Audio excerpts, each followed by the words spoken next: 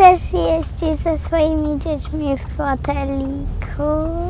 Wiesz co, ja mam trójkę dzieci i moja najstarsza córka, Karolina, e, już właściwie nie musi jeździć w foteliku, bo jest na tyle wysoka i ma już tyle lat, że, że już w foteliku jeździć nie musi. Natomiast tak, moja średnia córka, Jagoda, jeździ w foteliku, jeździ zapięta pasami i mój najmłodszy synek Józek, który ma 9 miesięcy, też jeździ w foteliku, jeździ tyłem do kierunku jazdy.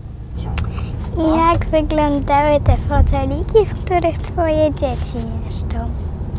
Jeden z tych fotelików, w którym jeździła moja córka Jagoda, właściwie był trochę podobny do tego, w którym Ty w tej chwili jedziesz. Też miał tutaj e, takie wzmocnienie przy głowie, żeby w momencie hamowania, żeby głowa była bezpieczna. To się też świetnie sprawdzało, pewnie Ty też doskonale o tym wiesz, w momencie, w którym jesteś zmęczona, robisz się śpiąca, to wtedy łatwiej można sobie oprzeć głowę i możemy bezpieczniej zasnąć.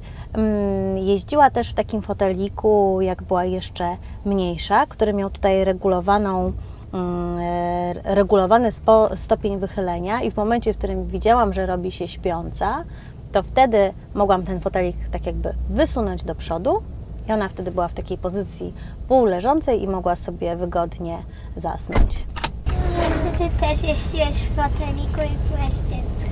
Wiesz co, ja już jestem taka stara, że jak ja byłam małym dzieckiem, nie było takiego obowiązku, żeby jeździć w fotelikach samochodowych, w związku z czym ja na foteliki się nie załapałam. Jeździłam, e, przeważnie jeździłam z tyłu, bardzo często, ponieważ jeździliśmy maluchem, to jest taki malusieńki samochodzik.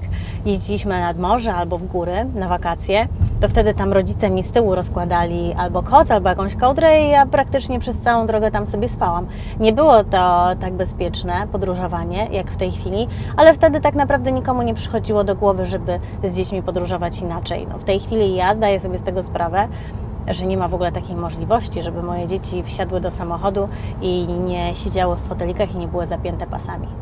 Mi jechało się samochodem bardzo dobrze. Mam nadzieję, że Weronice również. Mam nadzieję, że to, że jechała w foteliku, to też y, było dodatkowym dla niej komfortem, a nie czymś, co jej w tej podróży przeszkadzało.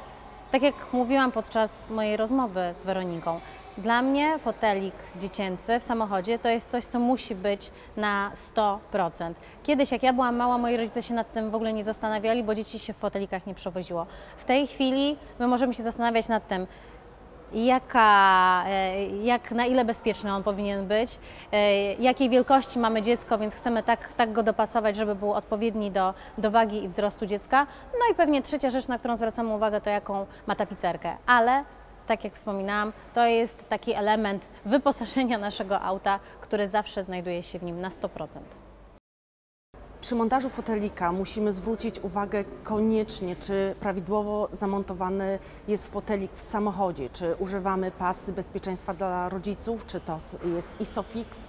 E, Musimy sprawdzić, że wszystko jest e, prawidłowe, dopchane, dociągnięte, żeby dziecko czuło się bezpieczne. Kolejny e, etap to jest mm, wewnętrzne pasy. Jeżeli fotelik posiada wewnętrzne pasy, to muszą być odpowiednio naciągnięte. Nie może powstać luz, bo wtedy dziecko na przykład wyciągnie sobie e, rączki z, e, z pasów. Przed zmianami przepisów był jeszcze wiek. Teraz już to nas nie obowiązuje, więc poszukując fotelika dla dziecka musimy widzieć jego wzrost i wagę. E, Według najnowszego prawa dzieci muszą być przewożone w fotelikach do 1,50 m. One, two, three, four, get my shoes and out the door. Five, I'm alive. Six, seven, eight, feeling great. Nine, gonna shine, life is good.